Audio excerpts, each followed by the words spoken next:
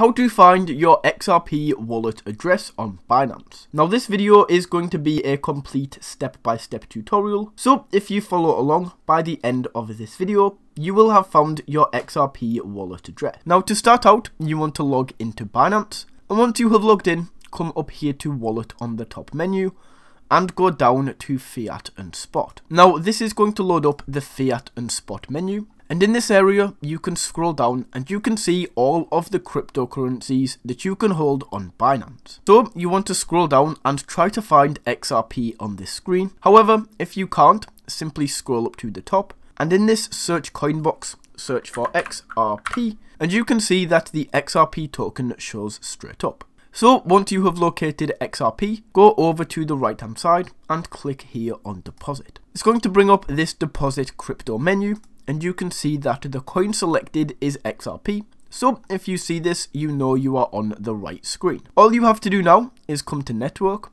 click this drop down menu and select the network you would like to transfer this through. Now most of the time this is going to be through the Ethereum network. So if you click on Ethereum, you can see that it's going to pop up this wallet address. You can click to copy this or you can simply scan this QR code. Now, as I said, most of the time it's going to be through Ethereum. You want to click this and double check that it is through the Ethereum network. So you just want to Google what network your wallet and what network your exchange transfers XRP through. But as I said guys, most of the time it is going to be Ethereum.